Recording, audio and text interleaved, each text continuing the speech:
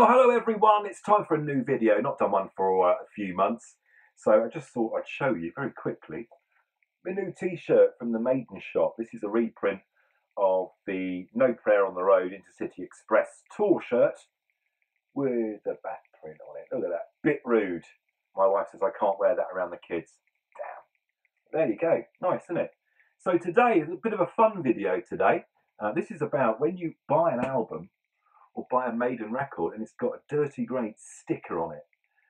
And it's been there many years. It could have been there 30 years. How would you get it off? What do you do? So this is a bit of a hints and tip video. Enjoy.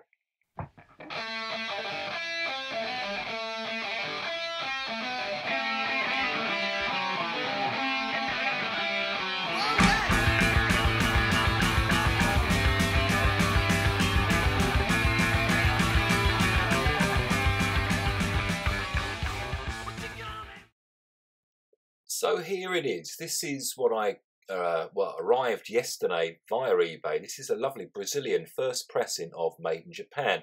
And as you can see, it's got in the top left-hand corner uh, a rather old sticker of Adrian Smith and Dave Murray, as you can see up there. Now, getting a little bit closer on, we can see that this has been here a long time. It's quite grubby, quite dirty. So how do we get this off? Well, the two tools I used is a hairdryer and a eraser tipped pencil. Yeah, all you do, heat it up. As you can see here, it's all starting to come off.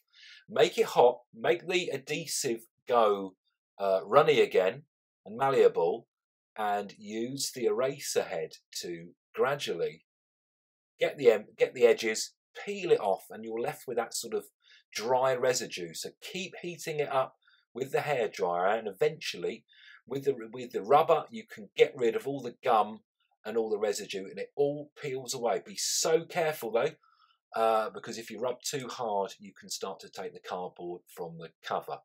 So as you can see we're doing we've made really good progress by now. Just a little bit of Dave's noggin left and by doing the same technique over and over again I've reduced it all the way down to that and we actually got a little bit better when I finished. So the finishing article is this. So a nice, pretty pristine original 1981 copy from Brazil of Maiden Japan. So go easy when you do it, but the results can be brilliant.